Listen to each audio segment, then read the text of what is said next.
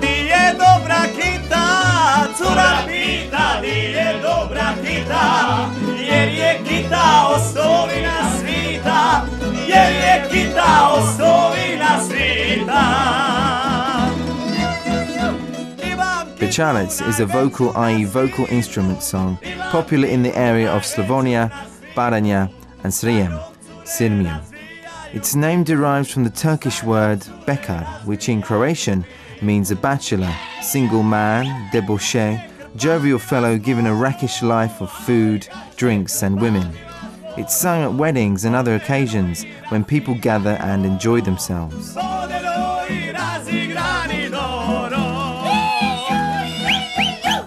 There is one lead singer, and the rest of the singers follow him in a two part or occasionally three part singing. The point of bećarac lies in their harmonic verses, many of them sung in the same melody with a practically inexhaustible repertoire.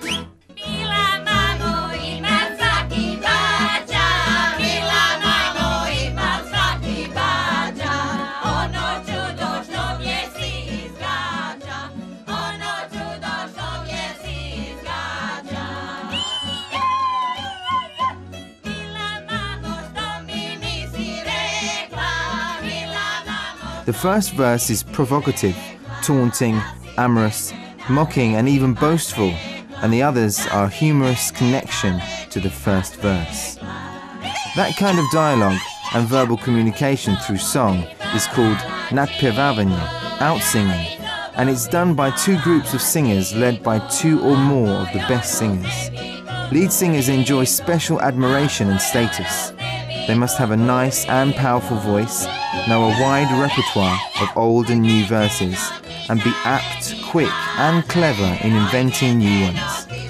Bećarac is basically a male song, with the lead rarely sung by women, and when women do sing, they accompany male backup voices.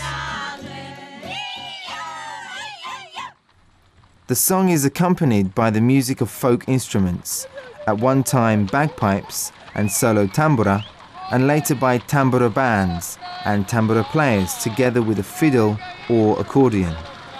Bećarac is sung without background music, only as an exception when there are no players. Except on the stage and television, Bećarac is still performed in wedding ceremonies, in some informal social events. The people have kept the vitality of Bećarac through the continuity of performing, and eventually it regained the symbol of the people and their identity. It remained popular and resisted the influence of the aggressive and noisy turbo folk, which laid aside many local and regional traditional music values.